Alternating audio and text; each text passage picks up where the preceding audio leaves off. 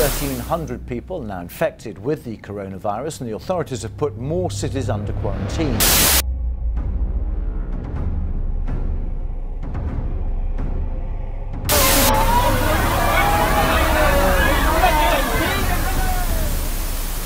Macau has confirmed the first case of new coronavirus infection. Macau now has seven confirmed cases of the coronavirus. This is Newsport now a ghost town. Kinumpirma na rin ng Macau ang unang kaso ng bagong SARS-like coronavirus at inabisuhan ang lahat ng staff ng mga establishmento roon na magsuot na ng face mask.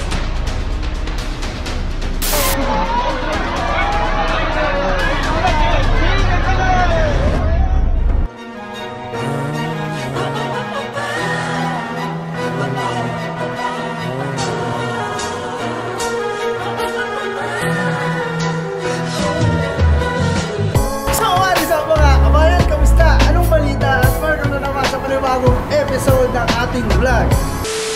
So yun, oh, maraming maraming salamat pala dun sa mga nanood at sumuporta dun sa ating video noong nakaraang linggo na kung saan namigay tayo ng mga free face mask. Ayan, kasama natin ang si Lester ng Lakwacherong Prinsipe at ang Macau Trends.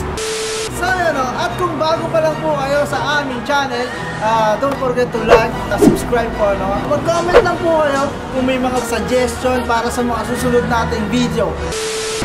At for today's episode, no, isi-share ko lang sa inyo ang 7 ways to prevent viruses from spreading.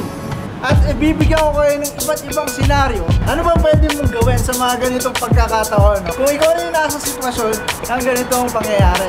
So tara, let's go! Uy, una sa ating listahan, ang pagsusuot ng mask. Direk, wala akong mask. Yun. Salamat, Direk. So marami iba't ibang klase ng mask na pwedeng isuot, no?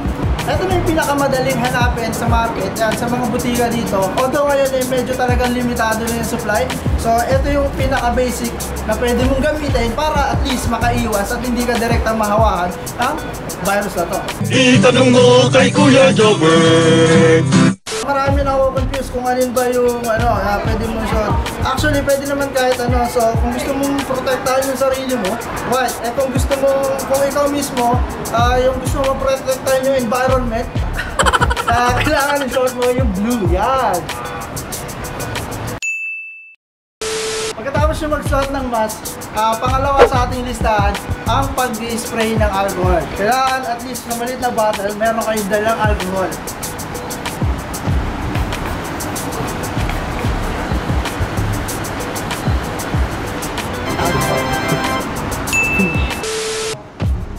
So, pangatlo sa eksena, kung walang available na alcohol, pwede kang maghugas ng kamay with the soap. Hoy!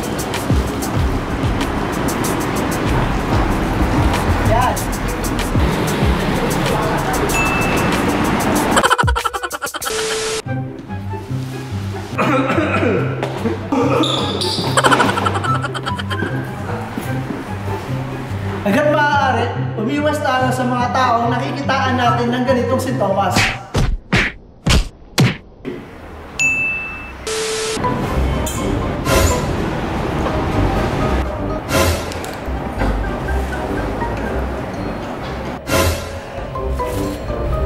Pagkatapos nyo humawak sa mga kung ano-anong bagay sa paligid, mag-alcohol muna kayo bago nyo ihawak sa mga mukha nyo.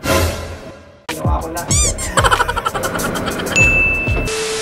Hatching!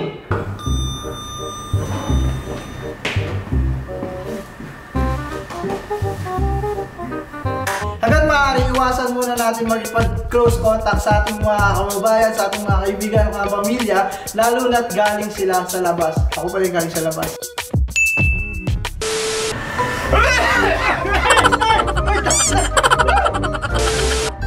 Maging handa at maging aware sa mga ganitong pagkakataon, lalo na sa mga kulog na lugar katulad ng elevator, buses, ah, taxi, at iba pang pampublikong lugar. Hey! And that was it! And that was it for this video, no? Ah, sana may natutunan kayo kahit pa paano sa mga pinagagawa namin. Bago ko tapusin tong vlog, no? gusto ko lang ipakilala sa inyo ah, si Kim. Ayan, say hi Kim. Kim, at ang isang ah, may participation din si Pals, Francis Rapael. Power? Maraming maraming salamat sa pagsama nila sa aking video today. At para may ma-share kaming good vibes sa inyong lahat. No? Kim, what can you say about the virus and what is your thought about it? 好担心，非常之担心。澳门而家都开始有人有嗰啲病毒啦，但系口罩又冇得卖， 啲屋企人都咩啊，都好好擔心啦，因為隨時都唔知幾時中招。Okay. Yeah. That's it. Yes. Oh, maraming maraming salamat. Thank you so much for that uh, message. What's that message?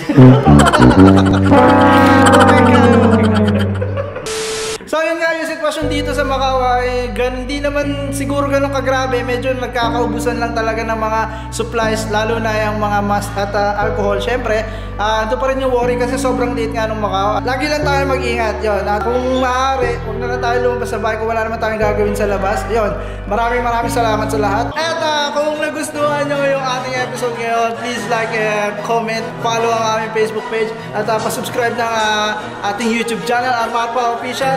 At yun, uh, maraming maraming salamat sa lahat ng tumabo sa ating video for today. Ayan, sana may natutunan kayo kung wala, uh, panoorin nyo na lang ibang video, baka matuwa din kayo. Ayan, maraming maraming salamat sa inyo. Huwag nyo kalimutan na i-share ang good vibes mula dito sa Macau. Maraming maraming salamat po. Aksyon tayo lahat. One, two, three.